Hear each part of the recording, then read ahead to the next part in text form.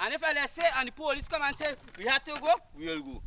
But you can't come and tell nobody to go. You don't know me, sir.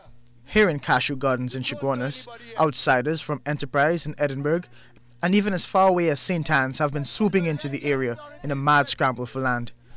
They've been clearing any free spot they can find, building houses and planting vegetation, hoping to start a new life. They say, if no one's using the land, why can't they? And, and, and, and the Prime Minister said they could plant the land and she would move nobody. And the land we see it, bush and mosquito in night, and they go sneaky and thief for canting. You have to cut down the bush and plant it better for the people in the community. You think so? The residents don't think so. They say the lands do have owners, and the situation is becoming more tense every day. Residents say they're being threatened by the squatters. So much so last night we had violence, threats and etc. on this piece of land up here. We have already called in the police, LSA has to come in and deal with it one way or the other. We are fed up with people running muscle over people.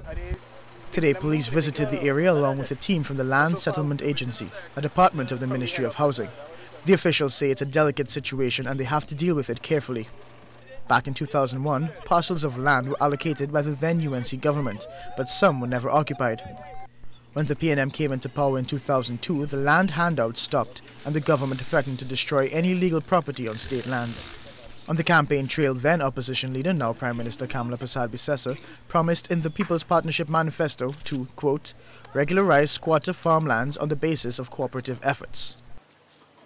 Within the past week, there's been a mad dash for land in this area. Residents say that there's been an increase in building materials and houses going up. On one hand, the residents want their land to be protected.